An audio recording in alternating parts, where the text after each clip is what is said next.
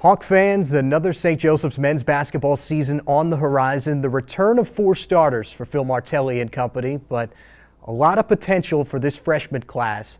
The likes of Lamarr Kimble, Chris Clover, Pierfrancesco Oliva, and Markell Lodge. We sat down with each of them for our Meet the Freshmen segment. Let's see what they had to say.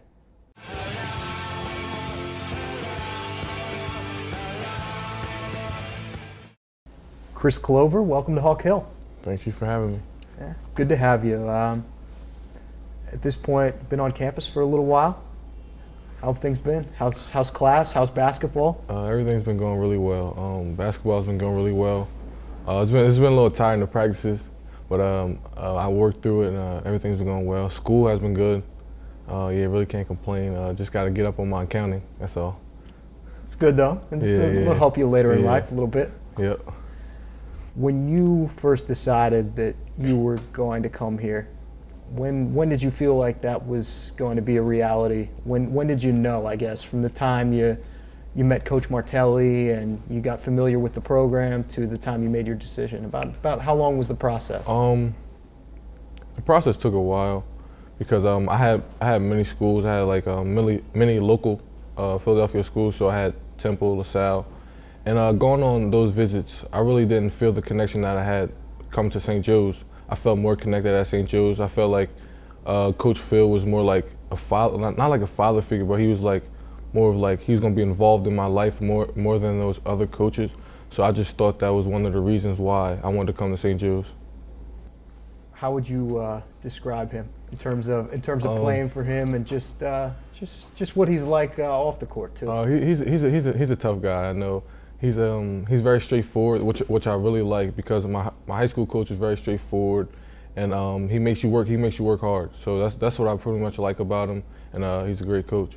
Coming to St. Joseph's, being a, a Philadelphia guy, getting to play college basketball in, in your home city, what's that like? What's what's that what's that mean when you stop and think about it? Um, it means like to me when I think of coming staying home, I think of my family. Um, I want my family to come support me, watch me play at home games. So that's the first thing I think of. And my little brother, he's he, he me and him in a little competition. He wants to go. He wants to go to Duke. So he's like he's like I want to go far. I want to go far, but I, I stayed home so he can come watch me play. He can he can he criticized me every uh, in high school. He criticized me, so I know he's gonna do it now. So it's just, it's just fun. It's just fun. Is he your biggest supporter? Yeah, yeah, for sure. Him, my mom, my whole family, my whole family supports me. What would you say if you had to self-evaluate a little bit? Biggest strength of your game, biggest weakness. Uh, biggest strength in my game, I would think, is being a versatile player. Like knowing, um, like since in high school, I played almost every position. So I think now I'm, I know, I know how to, I, I could, I could play the one, I could play the two, I could play the three because I'm big and strong enough to play. And my weakness would be, I just got to improve my handle and my shooting. That's all. And you can get in the lane? Yeah, of, of course, of course. That's I'm- good. I That's I- good- it's good to can- I can- hear. I can consider myself a slasher. So. Lamarr Kimble, you know him as fresh. when did you first meet him? Uh, what was your first impression? in high school we played we played against each other all the time. So I played for my freshman year. I played JV, so I got moved up in the playoffs. So I really didn't play. So sophomore year to, to senior year, that's when I really played against Fresh, and I thought he was a very good player. Um, he was a very good point guard. He's very smart. So when he committed here, I thought me and him were going to connect very well, and it was going to be it was going to be good for Saint for St. Joe's and for everyone. Biggest adjustment for you, both transitioning high school to college academically and then high school to college with basketball. I think at St. Joe's Prep they prepared me very well um, academically. Uh, we had we had a tough we had a tough uh, um, criteria, so uh, I think they prepared me very really well. And for basketball, I think my biggest adjustment would be the speed of the game and playing at a different speed because when I watch film, sometimes I'm not moving fast enough. Sometimes I'm moving too fast, so I just got to adjust adjust that.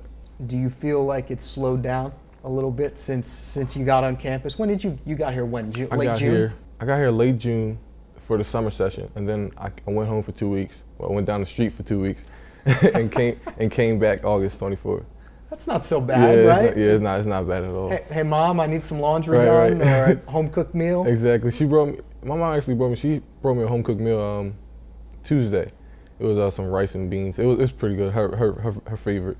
What's uh, what's your favorite home cooked meal? If you had to, if you Oh. could, you know, I, I remember when uh, when my birthday rolled around, I usually got got a favorite meal. What's Uh-huh. what's your favorite meal? I'm I'm a good. Uh, I'm a nice. Uh, I like um, turkey chops. If you know turkey chops. Okay. Have you heard of them? Yeah. She, she she my mom makes pretty good turkey chops. Now, what's uh, what what consists of uh, turkey chop? Uh, it's I guess you can say it's something like a pork chop, but Pork chop, okay, but it's yeah. but it's turkey. But it's turkey. Yeah, Makes I think- sense. yeah, That makes that's- Yeah. that makes sense. Who are you closest with in Um, terms of uh, on this team? I would just say the freshman. Check on check on Fresh, um, because during the summer we room, I room, I didn't room with them, but I was around them majority of the time. So I would just say I'm closer with those because they're freshmen and we talk a lot and we discuss basketball, schoolwork. So I'm really close with them too. Growing up in Philadelphia, big Philly sports guy, or Um, not really, not No? really. I really, I, I watch, I like, I watch the Eagles, Phillies, but I was never big on, big on those teams. who'd you grow up rooting for then? I, uh, I really didn't. I really Didn't- just. didn't I really one. just watched every. Like I've watched everything. I just like every team, every city. I was really never like one specific, specific uh, team. Favorite player growing up? Did you have one? Uh, favorite player, uh, Carmelo Anthony. I'm just. I'm just big on him. I don't know. He went to. He he just he um in college he went to Syracuse and then he got traded. Then he went to the NBA. So like I was always I was always a big on Carmelo. I don't know why. It just he just stuck with me. So like in high school I wore my my junior year I wore 15 because Melo wore 15 in uh, his college career and a little bit in the NBA. So I just I just like him very much. I kind of have a soft spot for Carmelo. Yeah, I just like he's he really he's a really good scorer. That's what, I just like him. How much uh, have you thought about opening night? You know, the first time uh, you get to run out of the locker room, first time you get to put on that that jersey, put on the crimson and gray here. I think about it. A lot. I think about it almost every day because um, people ask me, "When's your first game? When's your first game?" I go down, go down, go down the, um, go to, go back to the um, dorms. When's your first game? November 13th. Well, November 13th, and uh, I just can't wait. I just can't wait to put on that, on that, on that jersey and just run out, run out with my family in the crowd. So I just can't. It's gonna be very exciting. Have you thought about what, what your goals are for this year in terms of just what you want to accomplish My main- individually and as a team? my main goal for me um, is just get playing time, and then for team team goals, I just want I just want our team to do well, do well, try to make it back to the tournament at least, and then like experience. I just want to experience a tournament like as a freshman. Like that would be just, just such a good experience for me. Lamarr had brought up, you know, you guys talking about it a little bit in the locker room, you and Checo and Lamarr and uh, maybe Markell and some of the other younger guys, you know, talking about how last year you were just watching college basketball. Now you're part of it. Playing, right. What, when you think about that, what's that, what's that mean? What, what, what kinds of feelings go through your head? Um, I don't, I don't know. It's just, it's just kind of, it's just kind of crazy because last year, like I usually would watch like guys who I followed in high school.